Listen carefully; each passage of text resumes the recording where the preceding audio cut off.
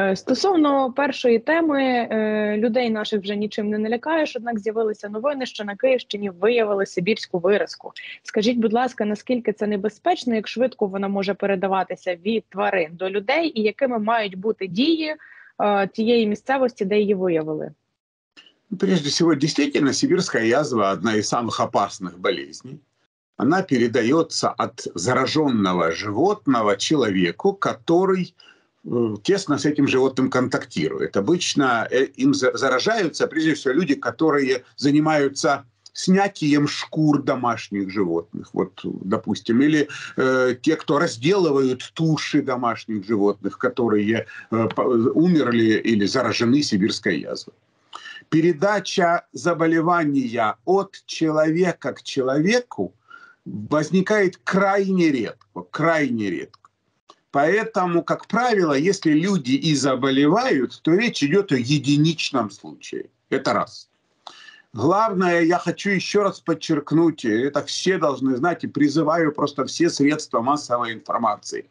Когда вы произносите фразу, что в, на Киевщине или в Украине обнаружена сибирская язва, то сразу же после этой фразы добавляйте указы у животных, у человека никакой сибирской язвы в Украине не надо пугать людей лишний раз. Поэтому, еще раз подчеркиваю, никакого случая, никаких вспышек у человека никакой сибирской язвы нет.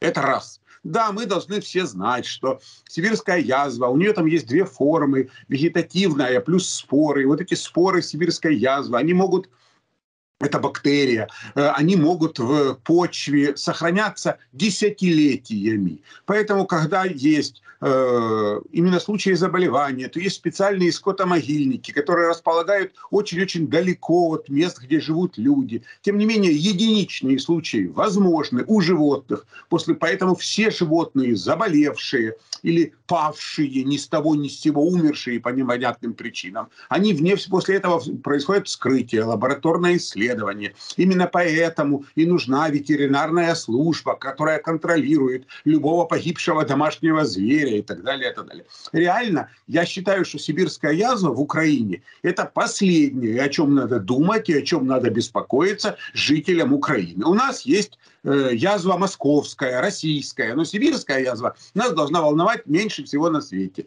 Поэтому я призываю всех успокоиться, закрыть эту тему. Опять-таки надо понимать, что особо опасная инфекция сибирская язва. Э, сейчас, по крайней мере, мы имеем способ ее лечения. Э, этот возбудитель, в принципе, лечится антибиотиками сейчас, поэтому я не вижу какого-то повода нагнетать. Предлагаю всем тему закрыть, не суетиться. Ветеринарные службы и санстанция наша делают свое дело, поэтому расслабились.